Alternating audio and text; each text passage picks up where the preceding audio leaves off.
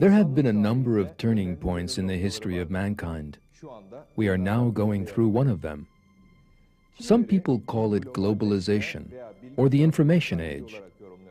Although such analyses are correct, there is another development far more important than these. Although some people may still be unaware of it, there has been a huge change in the field of science and philosophy in the last 20 to 25 years. Atheism, that has so influenced the world of science and thought, is now undergoing an irrevocable collapse.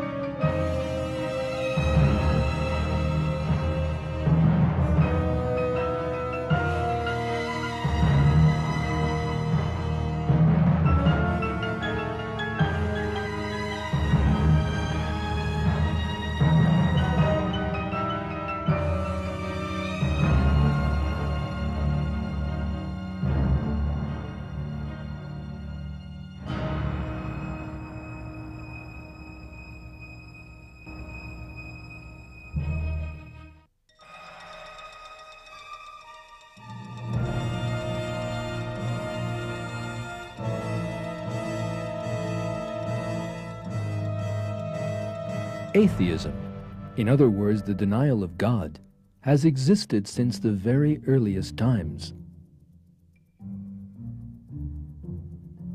Yet the real rise of this idea began with a number of 18th century thinkers who were opposed to religion.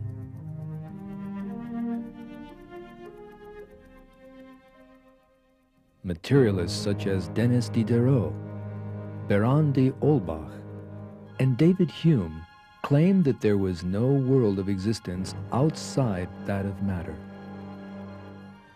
Atheism spread still further in the 19th century. Thinkers such as Feuerbach, Marx, Engels, Nietzsche, Durkheim, and Freud applied atheistic ideas to a number of different scientific and philosophical fields. The greatest support for atheism came from Charles Darwin, who denied creation and replaced it with the theory of evolution.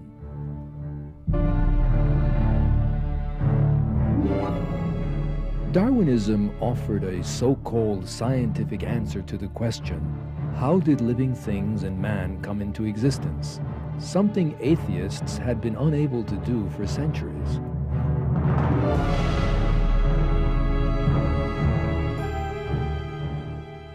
He claimed that there was a mechanism in nature that gave life to inanimate matter and then produced all the millions of different living species. A great many people came to believe that deception.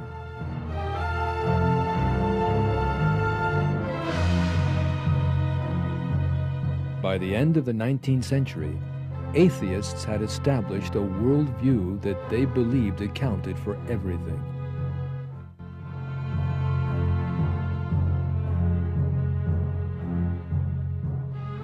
They denied that the universe had been created, saying that it had existed forever and had no beginning.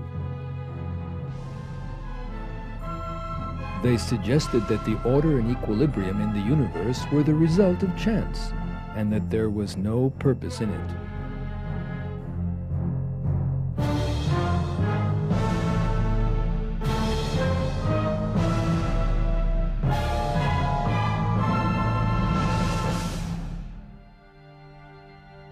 They imagined that Darwinism accounted for the emergence of man and all living things.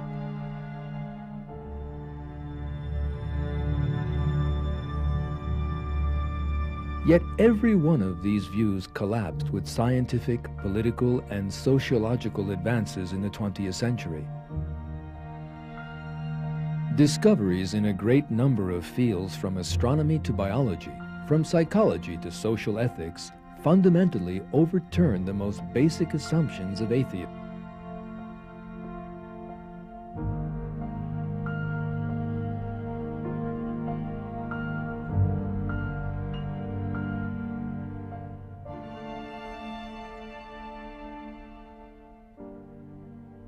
In his book, God, the Evidence, The Reconciliation of Faith and Reason in a Post-Secular World, published in 1997, the well-known American writer Patrick Glynn offered the following analysis.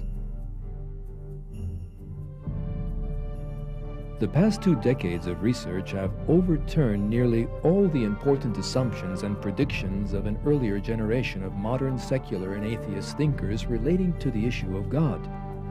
Over the course of a century and the great debate between science and faith, the tables have completely turned. Today, the concrete data points strongly in the direction of the God hypothesis.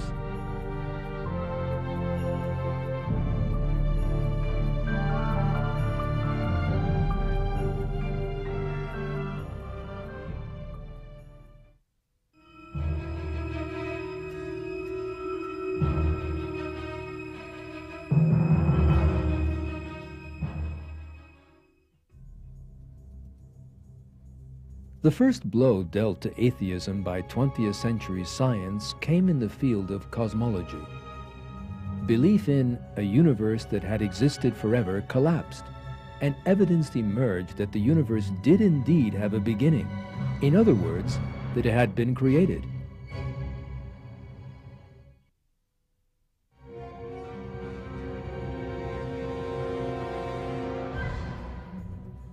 The idea of an infinite universe was first put forward by atheist philosophers in ancient Greece. The first person to support the idea in the New Age was the famous 18th century philosopher Immanuel Kant.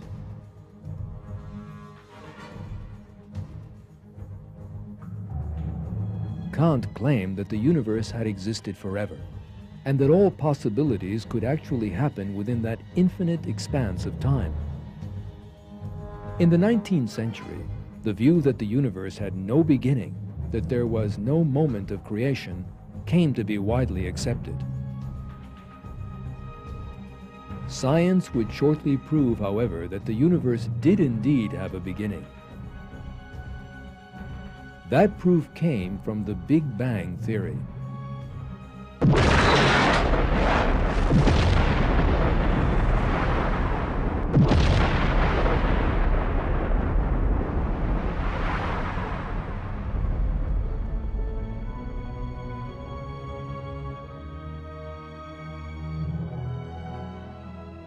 The theory of the Big Bang was the result of a string of discoveries. In 1929, the American astronomer Edwin Hubble realized that the galaxies in the universe were constantly moving away from one another, which meant that the universe was expanding. If the flow of time in an expanding universe were reversed, then it emerged that the whole universe must have come from a single point astronomers found themselves facing a metaphysical situation in which this single point possessed infinite gravity, yet zero volume. Matter and time emerged with the explosion of that infinitely small point.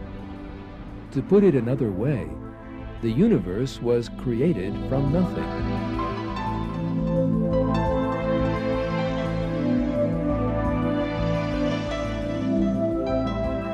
Although the Big Bang Theory disturbed materialists, it continued to be supported by concrete scientific discoveries. During their observations in the 1960s, the two scientists, Arno Penzias and Robert Wilson, identified the radioactive traces left behind by that explosion. The same thing was confirmed in the 1990s with the levels of radiation captured by the satellite Cosmic Background Explorer, COBE.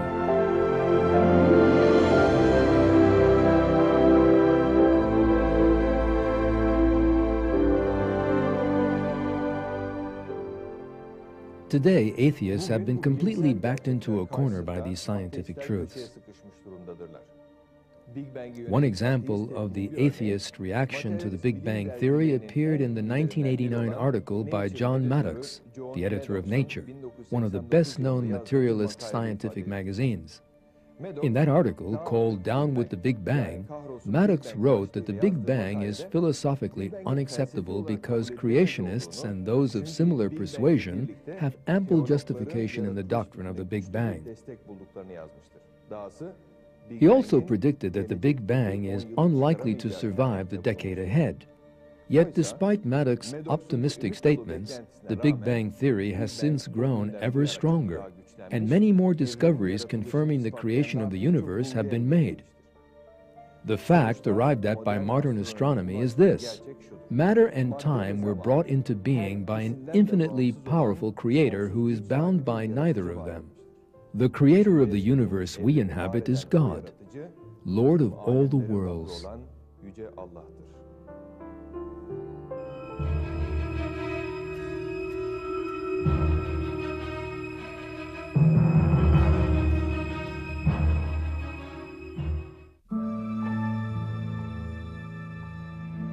Another atheist dogma demolished by astronomical discoveries in the 20th century is the idea of the accidental universe.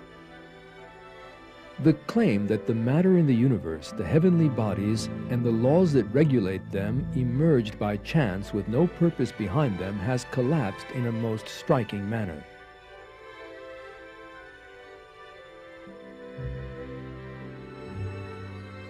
It was in the 1970s that scientists first realized that all the physical balances in the universe had been set up in a most sensitive manner so as to permit human life.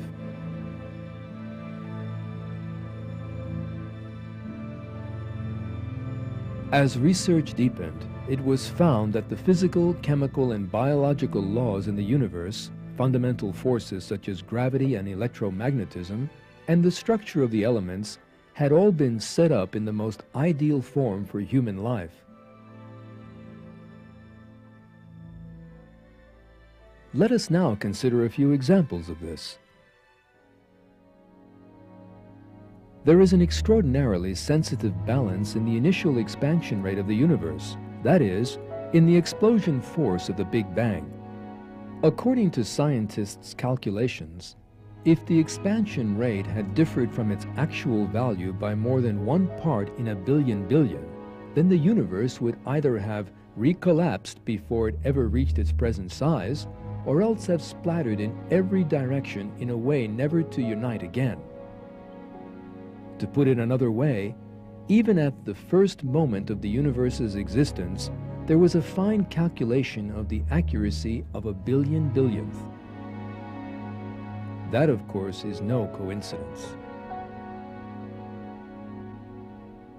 Physical forces such as gravity and electromagnetism are all at the necessary levels for an ordered universe to emerge and for life to exist.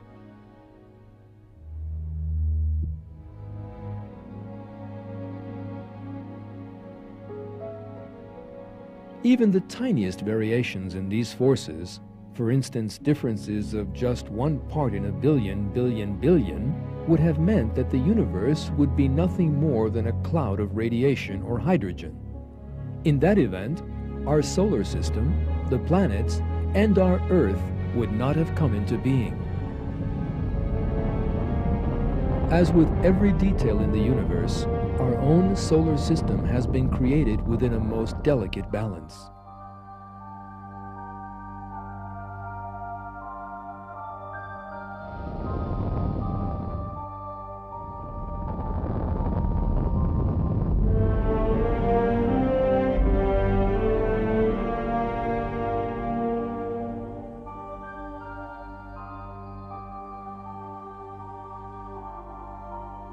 The size of the Sun, the wavelength of its rays, and its distance from the Earth are all at the levels necessary to support human life. Even the slightest deviation from these could destroy life on Earth at a stroke. The way that the Earth's atmosphere contains the gases necessary to allow respiration, or that the Earth's magnetic field is ideally suited to human life are just two examples of such important delicate balances.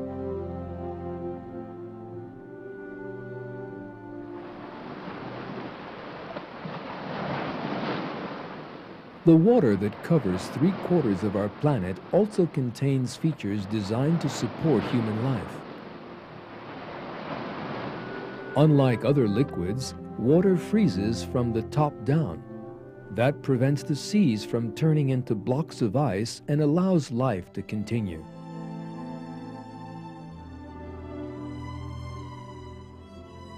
The viscosity of water and its other physical and chemical properties are all at the ideal levels for supporting life.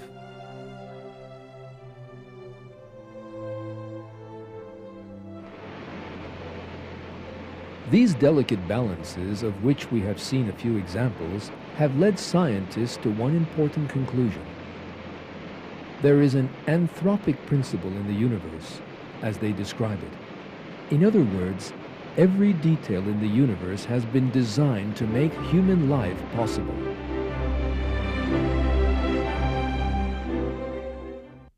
The interesting thing here is that most of the scientists who revealed that truth were actually materialists who had no great wish to reach such a conclusion.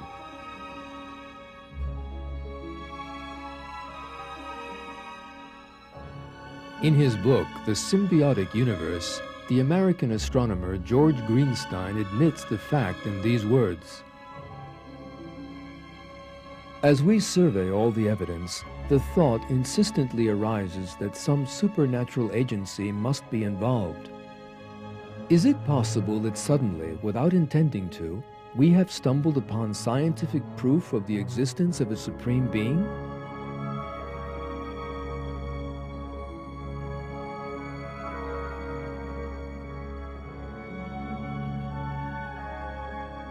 In his 1998 book, Nature's Destiny, How the Laws of Biology Reveal Purpose in the Universe, the well-known molecular biologist Michael Denton makes the following comment. The new picture that has emerged in 20th century astronomy presents a dramatic challenge to the presumption which has been prevalent within scientific circles during most of the past four centuries that life is a peripheral and purely contingent phenomenon in the cosmic scheme.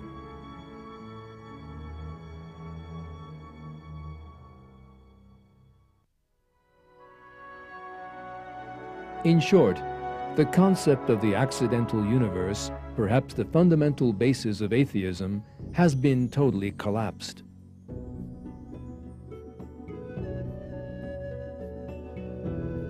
The deceptive nature of the concept was revealed in the Quran some 1,400 years ago. We did not create heaven and earth and everything between them to no purpose. That is the opinion of those who disbelieve.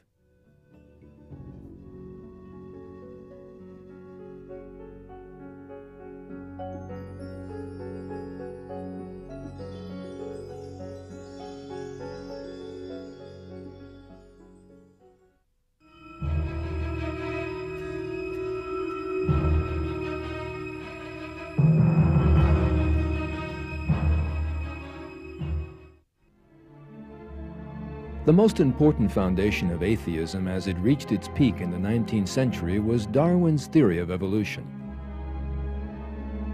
Darwin proposed that the origin of man and all other living things could be explained by unconscious natural mechanisms. In that way, he offered a false explanation for the origins of life for which atheists had been unable to account for hundreds of years. In fact, the atheists of the time rushed to embrace Darwin's theory. Beginning with Marx and Engels, 19th century atheist thinkers described the theory as lying at the heart of their philosophies. However, the major support of atheism itself collapsed with the scientific discoveries of the 20th century.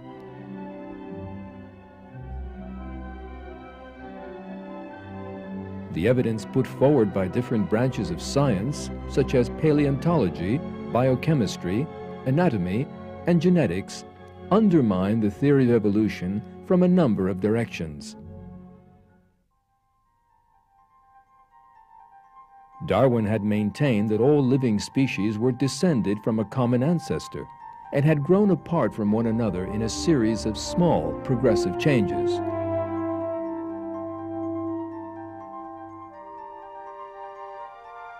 He hoped that fossils would provide evidence for that claim.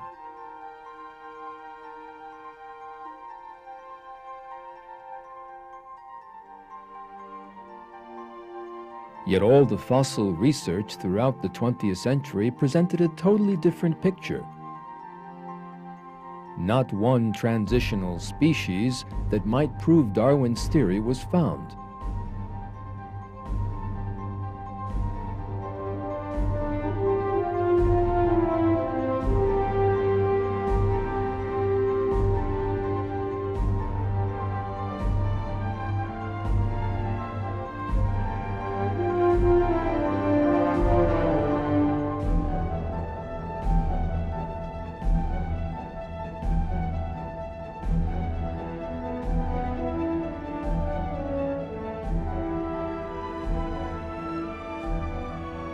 For example, the phenomenon known as the Cambrian explosion is by itself sufficient to destroy the theory of evolution. Almost all the basic categories in the animal world emerged all of a sudden in that early geological period. Living things from very different classes such as mollusks, vertebrates, arthropods, and echinoderms with their very different physical characteristics emerge with their exceedingly complicated organs and systems all at once.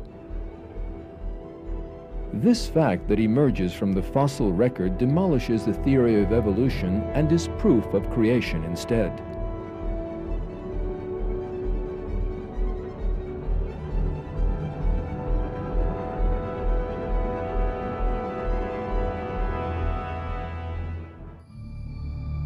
In putting his theory forward, Darwin based it on the idea that animal breeders produce different species of dog or horse.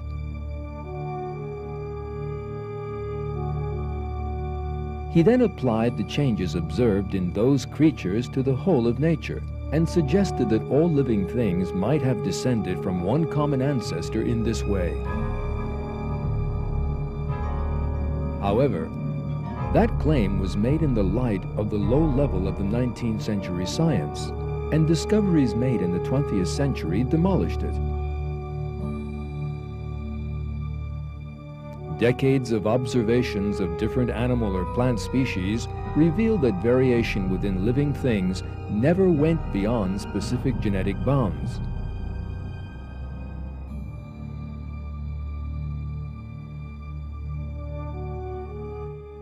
Genetic experiments, on the other hand, showed that the mutations that Darwinists regarded as an evolutionary mechanism could never add new genetic information to living things, but that on the contrary, they always had harmful effects. The countless mutation experiments carried out on fruit flies only yielded deformed individuals.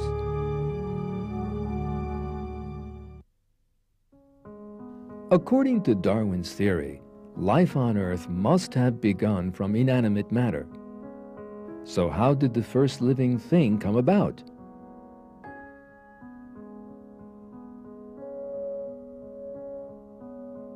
Darwin failed to address that issue, contenting himself with writing that the first cell could easily have formed in some warm little pond.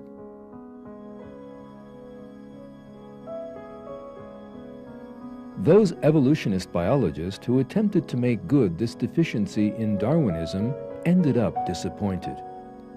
All observations and experiments showed that it was impossible for a living cell to emerge from inanimate matter.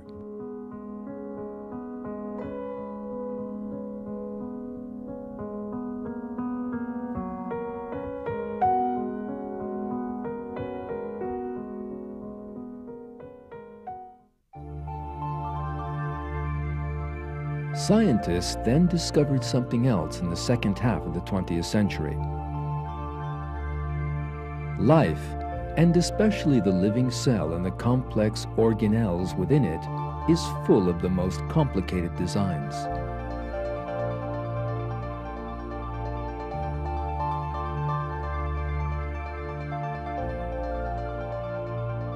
Our eyes, with which no camera can possibly compare.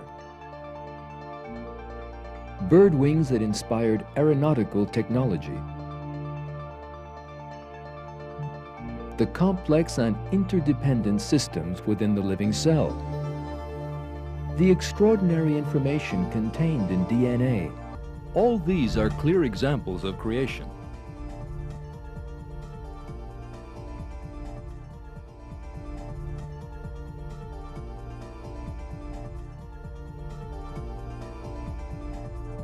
These scientific facts left Darwinism backed into a corner by the end of the 20th century. Scientists in many Western countries, particularly the United States, today reject Darwinism in favor of the fact of creation.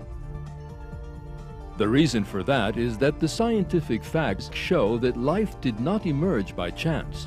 In short, science once again confirms the fact that God created all living things.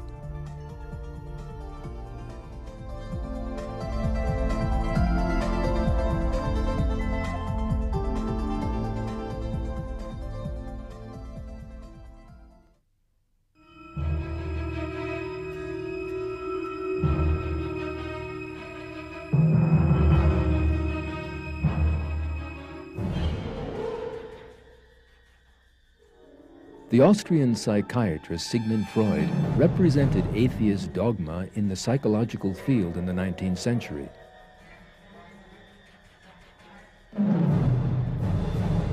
Freud put forward a theory of psychology that denied the existence of the soul and attempted to explain man's internal world in terms of sexual impulses. Freud claimed that to have accounted for the origin of psychological problems. Yet his theory actually encouraged new ones.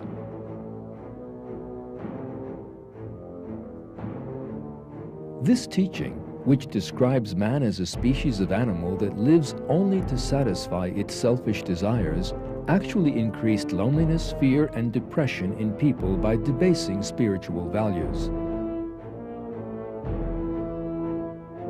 Pictures by artists influenced by Freud depicted the dark world of that teaching.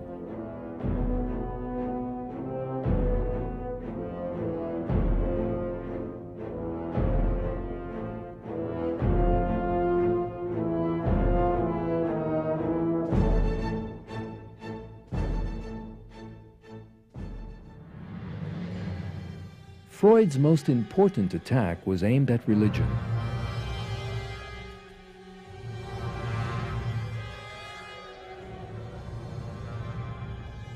In his book, The Future of an Illusion, published in 1927, he alleged that religious belief was a kind of mental sickness and maintained that religious beliefs would disappear as man progressed. Other prominent 20th century psychologists were fervid atheists too, as well as Freud.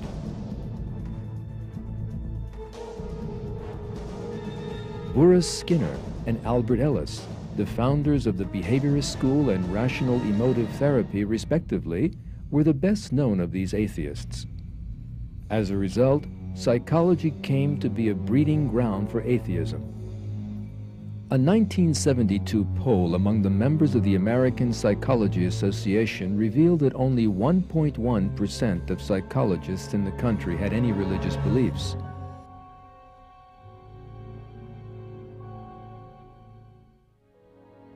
Yet the great error into which most psychologists had fallen was unmasked by means of their own researches. It emerged that Freud's theories in particular had almost no scientific foundations. It was also realized that contrary to the claims of Freud and certain other psychological theoreticians, religion is a fundamental of mental health. The American writer Patrick Glynn sums up these important developments. Scientific research in psychology over the past 25 years has demonstrated that, far from being a neurosis or source of neuroses, as Freud and his disciples claimed, religious belief is one of the most consistent correlates of overall mental health and happiness. Study after study has shown a powerful relationship between religious belief and practice on the one hand, and healthy behaviors with regard to such problems as suicide, alcohol and drug abuse, divorce, and depression on the other.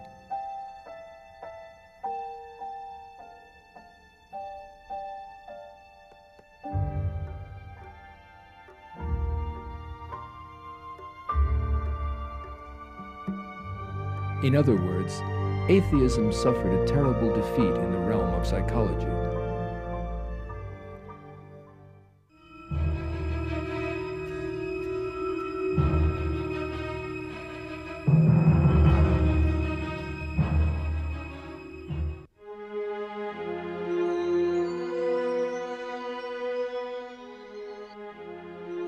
Collapse of atheism in the 20th century applies to political and social ethics as much as it does to the various branches of science.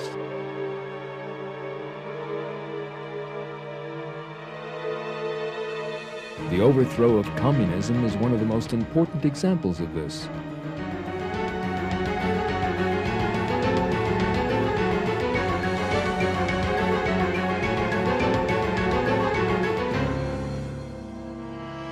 Communism was the major political result of the atheistic deviation of the 19th century. The founders of the ideology, Marx, Engels, Lenin, Trotsky, and Mao, all adopted atheism as their most fundamental principle. Communist regimes wished to spread atheism throughout society and destroy religious beliefs.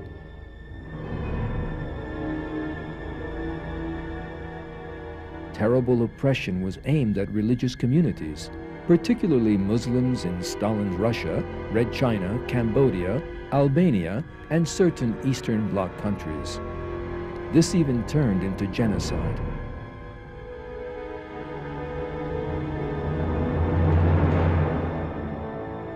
Yet that bloody atheist system collapsed in a surprising manner in the late 1980s. What was actually collapsing was atheism itself. The American writer Patrick Glynn has this to say on the subject.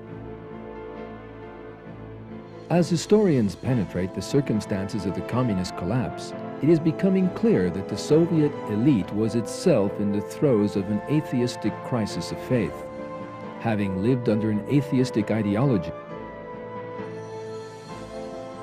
The Soviet system suffered a radical demoralization in every sense of that term. People, including the ruling elite, lost all sense of morality and all sense of hope.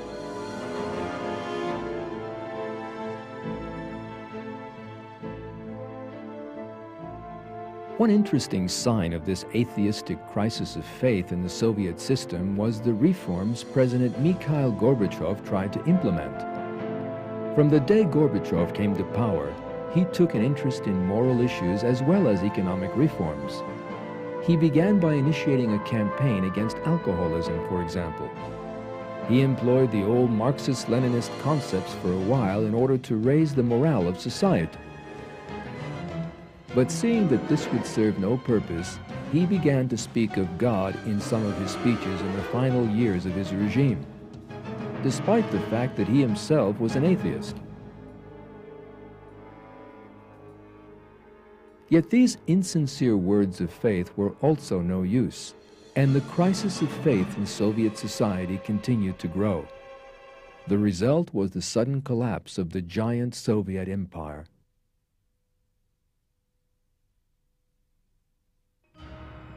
Communism was not alone in the 20th century. Fascism, another product of the 19th century atheist philosophies, also collapsed. Fascism was a philosophy that can be regarded as a synthesis of atheism and paganism. Friedrich Nietzsche, regarded as the ideological founder of fascism, praised paganism, fiercely attacked the divine religions, and even described himself as an antichrist. Nietzsche and Martin Heidegger, one of his disciples, were the main sources of inspiration behind Nazi Germany.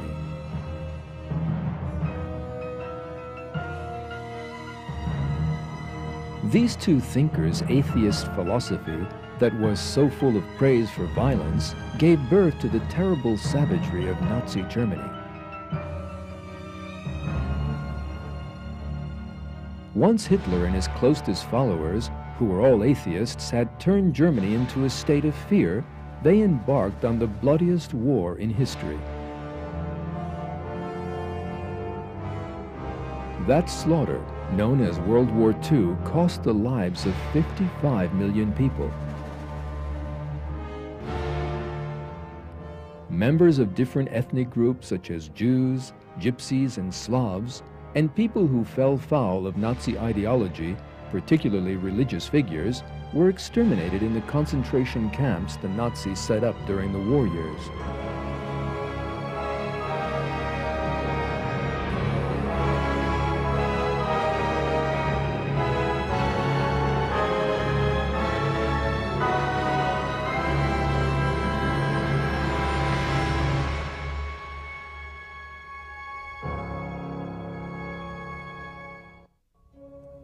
Another social result of atheism emerged in liberal Western societies in the second half of the 20th century.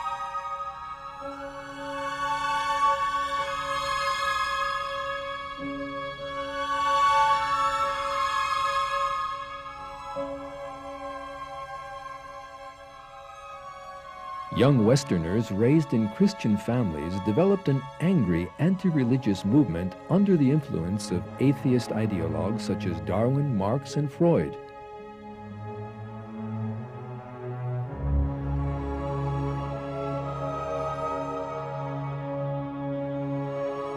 That movement developed rapidly in the United States and Western Europe in the 1960s and gave birth to the sexual revolution and the hippie dream that accompanied it. The hippies believed that they could find happiness by means of unlimited drugs and sex.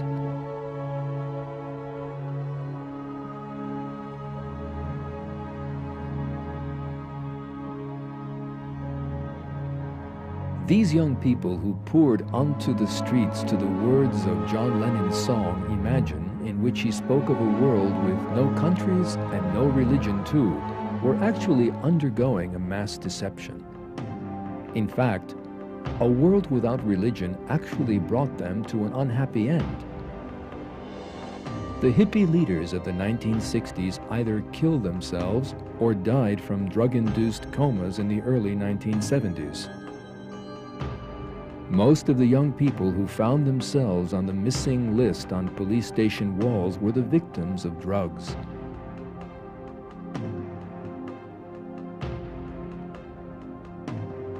Those young people of the same generation who turned to violence found themselves facing violence.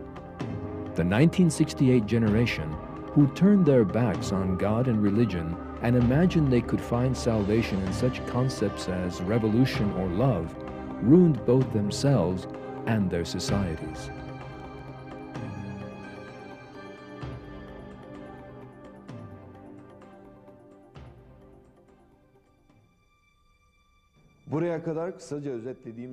The information we have so far briefly summarized clearly shows that atheism is undergoing an inevitable collapse.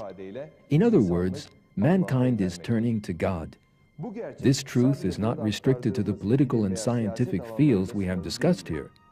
From politicians to film and pop stars, many opinion formers in Western society are more religious than before. There are now many people who have seen the truth and believe in God after living for years as atheists. That is what makes our age such an important one. Atheism, which people have tried for hundreds of years to portray as the way of reason and science, is proving to be mere irrationality and ignorance. Materialist philosophy attempts to use science for its own ends, and yet it is science that is actually destroying it. It is inevitable that that should happen. Atheism is the greatest irrationality possible. The Quran stresses the error of those who deny the existence of God.